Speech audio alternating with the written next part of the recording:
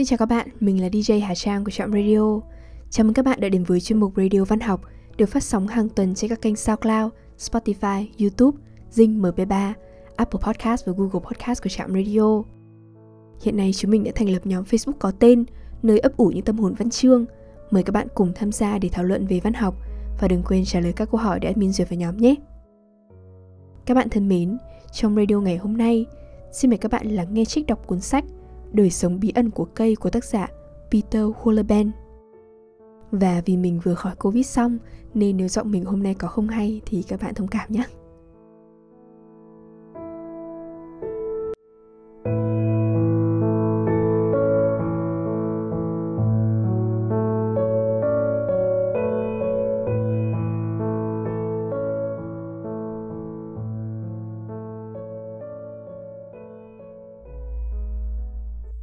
Đời sống bí ẩn của cây 2. Ngôn ngữ của cây Theo định nghĩa của từ điển, ngôn ngữ là thứ mà con người sử dụng khi nói chuyện với nhau. Nhìn theo phương diện này, thì chúng ta là sinh vật duy nhất có thể sử dụng ngôn ngữ vì khái niệm trên chỉ giới hạn trong loài của chúng ta. Nhưng thú vị không khi biết rằng cây cũng có thể nói chuyện với nhau. Nhưng bằng cách nào? Chúng chắc chắn không tạo ra âm thanh, vì vậy chúng ta chẳng thể nghe được gì cành cây kéo kẹt khi cọ sát nhau, còn lá cây thì xào xạc. Nhưng những âm thanh này lại được tạo ra bởi gió, chứ cây không điều khiển được. Hóa ra, cây có cách giao tiếp hoàn toàn khác. Chúng dùng mùi hương. Mùi hương là phương tiện giao tiếp. Khái niệm này không hoàn toàn xa lạ với chúng ta. Còn vì lý do gì khác mà chúng ta sử dụng lăn khử mùi với nước hoa? Thậm chí, khi chúng ta không sử dụng những sản phẩm này mùi hương riêng của chúng ta cũng nói lên điều gì đó với người khác, cả cố ý lẫn vô thức. Một số người dường như hoàn toàn không có mùi, nhưng vài người khác lại khiến chúng ta bị cuốn hút mạnh mẽ vì hương thơm của họ. Các nhà khoa học tin rằng, pheromone trong mồ hôi là nhân tố quyết định khi chúng ta lựa chọn bạn đời. Nói cách khác, người chúng ta muốn cùng tạo ra đời sau. Vì vậy, dường như hợp lý khi cho rằng chúng ta sở hữu ngôn ngữ mùi hương bí mật và cây cho thấy chúng cũng làm điều tương tự. Ví dụ, bốn thập kỷ trước, các nhà khoa học đã chú ý thấy vài điều trên thảo nguyên châu Phi. Hươu cao cổ ở đó ăn lá cây keo gai dù, và cây không thích điều này chút nào. Chỉ ít phút sau, cây keo bắt đầu bơm chất độc vào lá để giải cứu bản thân khỏi lũ thú ăn thực vật to lớn. Hươu cao cổ hiểu được thông điệp này và chuyển sang ăn lá những cây khác trong vùng lân cận nhưng tại sao chúng không chuyển sang ăn lá những cây ở gần bên? Không, ngay lúc đó, Hươu sẽ đi lướt qua một vài cây và chỉ tiếp tục bữa ăn khi chúng đã đi xa được khoảng 100 yard, 91,44 mét. Nguyên nhân của hành vi này thật đáng kinh ngạc. Cây keo đang bị ăn sẽ giải phóng khí cảnh báo, cụ thể là khí ethylene, báo hiệu cho các cây hàng xóm cùng loài biết nguy cơ sắp đến. Ngay lập tức, tất cả các cây được cảnh báo đều bơm chất độc vào lá để chuẩn bị đối phó. Hươu cao cổ đã quá rảnh trò này, vì vậy chúng di chuyển xa hơn, đến khu vực thảo nguyên mà chúng có thể tìm thấy những cây còn chưa hay biết chuyện gì đang xảy ra. Không thì chúng sẽ đi ngược hướng gió. Vì thông điệp mùi hương sẽ được gió mang đến những cây lân cận, nên nếu đi ngược hướng gió, hươu có thể tìm thấy những cây keo ở gần nhưng vẫn chưa biết tin chúng xuất hiện. Quá trình tương tự cũng diễn ra trong những khu rừng ở đây. Tất cả rễ gai, vân sam và sồi đều thấy đau đớn ngay khi sinh vật khác bắt đầu nhấm nháp chúng. Khi một con sâu bướm hỉ hạ cắn một miếng to trên lá, tế bào xung quanh chỗ lá bị tổn hại sẽ thay đổi. Bên cạnh đó, tế bào lá sẽ gửi đi điện tín, giống hệt những gì tế bào con người làm khi bị thương. Tuy nhiên, tín hiệu không được truyền phát trong vài phần nghìn giây giống như ở loài người. Thay vào đó, tín hiệu của thực vật di chuyển với tốc độ chậm chạp, 1 phần 3 của một inch mỗi phút tương đương 0,84667 cm một phút. Do đó, mất khoảng một giờ hợp chất bảo vệ mới đến được lá để phá hỏng bữa ăn của lũ sinh vật gây hại. Cây sống rất chậm rãi, thậm chí cả khi chúng gặp nguy hiểm. Nhưng sống chậm không có nghĩa là cây không kiểm soát hoàn toàn những bộ phận khác. Nếu dễ gặp rắc rối, thông tin này sẽ được chuyển đi khắp cây, kích hoạt lá phóng ra hợp chất mùi hương. Và không phải cứ loại hợp chất cũ nào cũng được, mà phải là loại được tổng hợp cụ thể theo nhiệm vụ lúc ấy. Khả năng sản xuất các hợp chất khác nhau này là một đặc tính khác giúp cây tự vệ trước sự tấn công trong một thời gian dài. Đối với một số loại côn trùng, cây có thể nhận diện chính xác đâu là kẻ xấu chúng cần chống lại. Nước bọt của mỗi loài sẽ khác nhau và cây có thể nhận diện côn trùng bằng nước bọt. Thực vậy, cây nhận diện chính xác đến nỗi chúng có thể phóng thích loại pheromone gọi loài săn mồi có lợi đến. Loài săn mồi có lợi sẽ giúp đỡ bằng cách nhiệt tình ngốn ngấu lũ côn trùng đang làm phiền cây. Ví dụ, cây du và cây thông sẽ gọi lũ tò vò ký sinh nhỏ bé đến để trứng vào trong những con sâu bướm ăn lá. Khi ấu trùng tò vò phát triển, chúng sẽ ngấu nghiến sâu bướm, vốn lớn hơn chúng, từng chút một từ trong ra ngoài. Đây chẳng phải là cách chết đẹp đẽ gì. Tuy nhiên, kết quả là cây sẽ thoát khỏi lũ gây hại phiền toái và có thể tiếp tục lớn lên mà không phải chịu thêm thương tổn. Việc cây có thể nhận biết nước bọt tình cờ trở thành bằng chứng cho việc hẳn chúng còn sở hữu một kỹ năng khác. Vì nếu có thể nhận diện nước bọt, ắt cây cũng phải có vị giác. Nhược điểm của hợp chất mùi hương là phân tán nhanh trong không khí. Thường chúng chỉ được tìm thấy trong phạm vi khoảng 100 yard. Tuy nhiên, phân tán nhanh cũng là một lợi thế. Khi việc truyền tín hiệu bên trong diễn ra quá chậm, cây có thể phủ sóng lên các khoảng cách xa nhanh hơn thông qua không khí nếu nó muốn cảnh báo các bộ phận khác về mối nguy đang rình rập.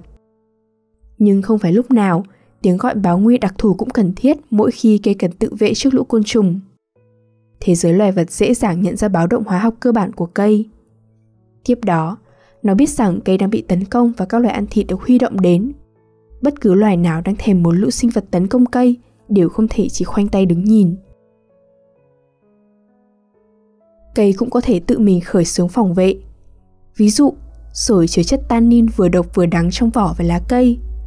Chất độc này hoặc tiêu diệt triệt để lũ côn trùng đang gặm nhấm cây, hoặc ít nhất cũng ảnh hưởng đến hương vị của lá nhiều đến độ, thay vì giòn ngọt, chúng trở nên đắng ghét.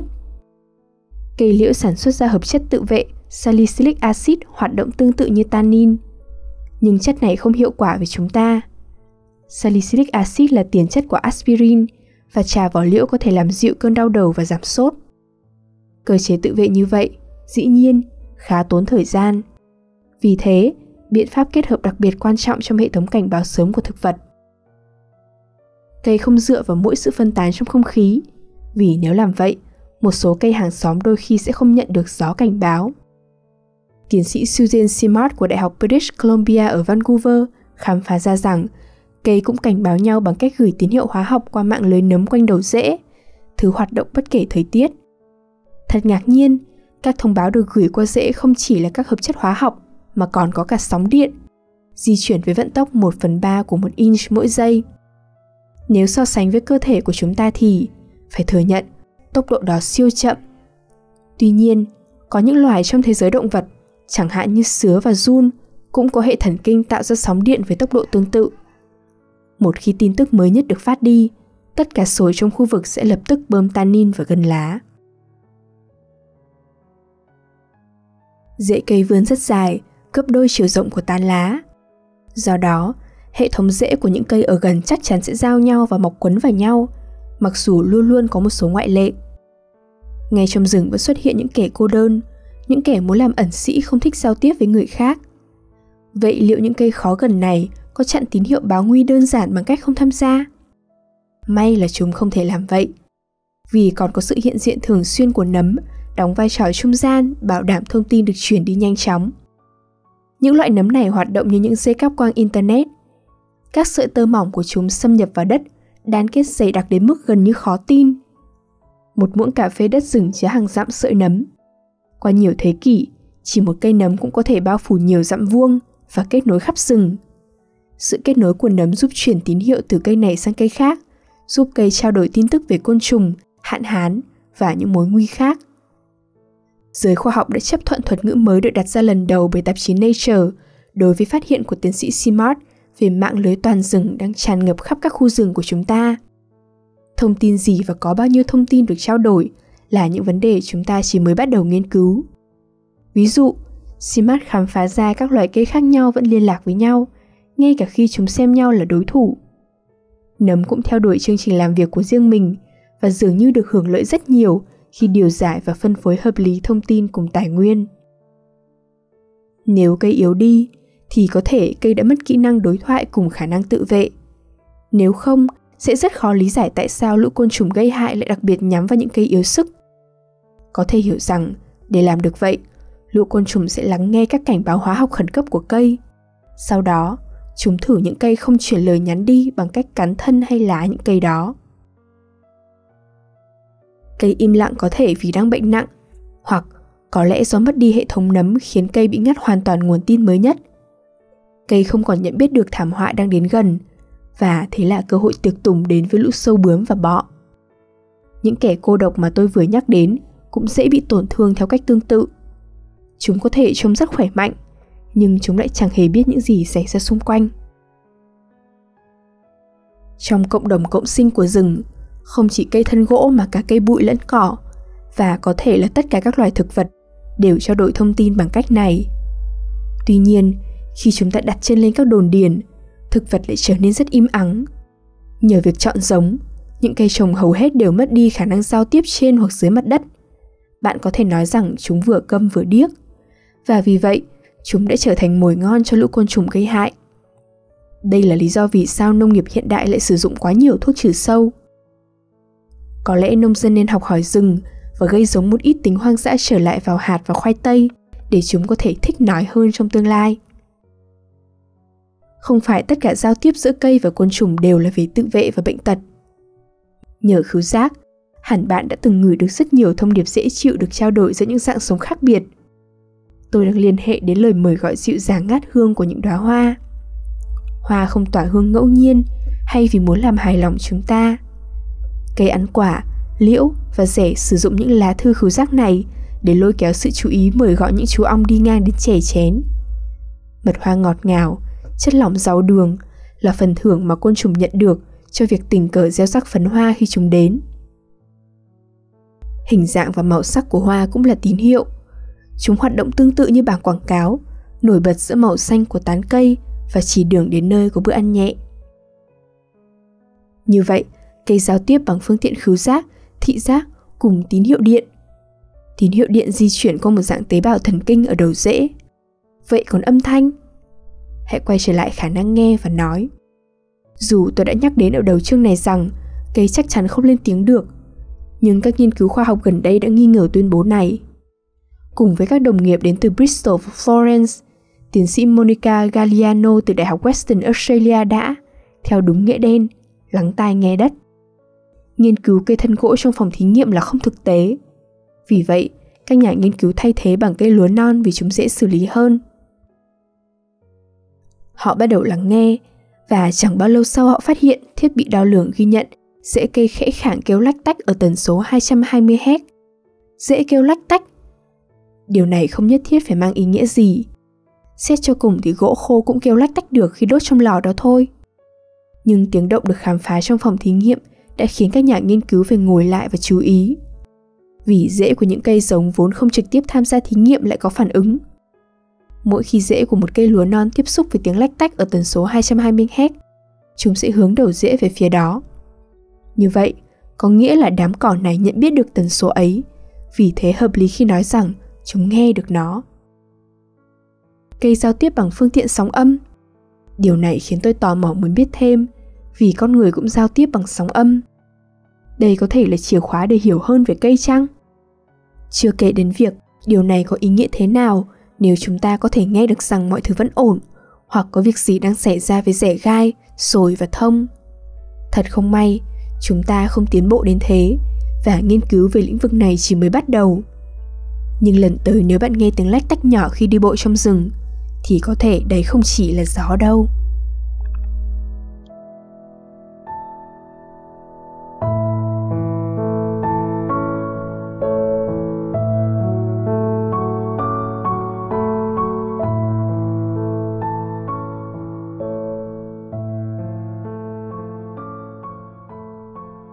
Đêm đã khuya, thời lượng của chương trình đến đây là kết thúc.